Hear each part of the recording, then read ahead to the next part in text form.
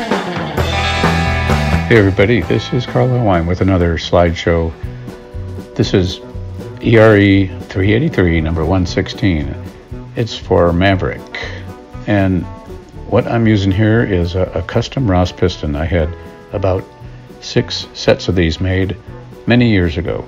It's modeled after the standard Mahle flat top with just about the crown is 0.1 thicker.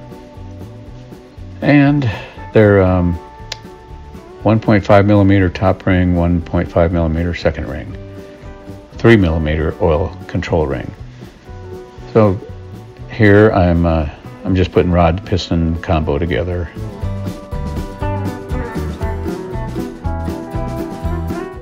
Now to the short block. Validate that the oil galley steel ball is in place before I put the main cap on. That's a quality assurance picture for me. And then the crankshaft, it's an Eagle crankshaft. I'm getting the serial number there. Notice it's, what, 1758 bob weight. Miking the mains here. So I'm going to do the main cap and the bearing installation. I shoot for like 0.0025 and or even bigger clearance. So I, I start with the X 0.001 over main bearings and that worked out. So uh, two, three, four, five all took X bearings, and then the, the number one cap took a combination of zero and and X.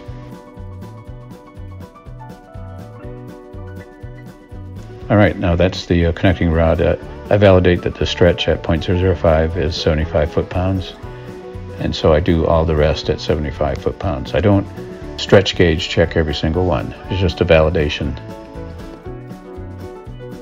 Also, double checking because it, it requires 0.004 piston to wall clearance and that's a 0.004 feeler gauge, so it fits in there nicely.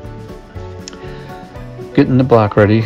Actually, this is kind of a mock-up because I need to make sure all the rods clear and bottom of the block and I haven't put the camshaft bearings in yet either because if they don't, I'm going to have to take it all apart and grind it. But luckily, the, uh, the rod's clear, so I didn't have to do any extra grinding. That is not usual. Usually, I always have to grind a little extra.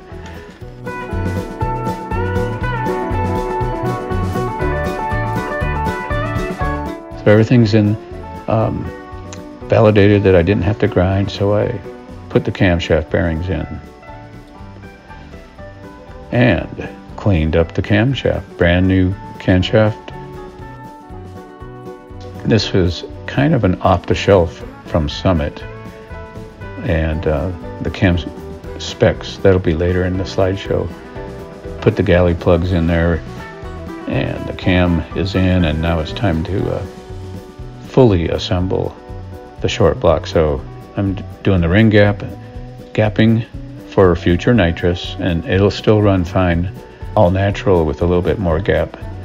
It is a uh, Mahle rings, and it's brand Mahle. The top ring is steel, the second ring is a Napier, standard tension for the oil rings. All right, so the Hoesch uh, rods and pistons are all installed, and rod side clearance is 20 thou. The rear main seal housing's getting put in there, centered. Then the seal.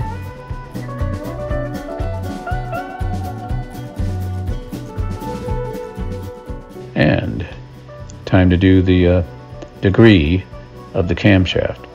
So first off, all the pistons, I measured them and they're from six to eight thousandths in the hole. Then I degreed the camshaft. There's the specs right there. And right off the bat, the first check it was right on 109 intake center line. So I save doing the blue Loctite on the cam bolts until after I do the degree. So that was a picture there for that. And the cylinder heads being the trick flow from Lloyd Elliott, they're 65cc. I knew that by default, but I did validate that. So I got 64 and a half, which is probably my error because the uh, the grease when you put it on the plate to the CC procedure that grease sometimes I think it takes up some volume. So anyway, I'm putting on Mavericks. Um, he's got a used ATI damper with a 24X, the Torqhead reluctor on it. It's got a brand new Torqhead sensing unit. Uh, his timing cover put that all on and called it a night. That is it for today. Check later because I'm going to finish this motor and get it to the dyno. In the meantime, enjoy some more of the flaming acetone rag debacle. Carlo, I know on engines. Take care.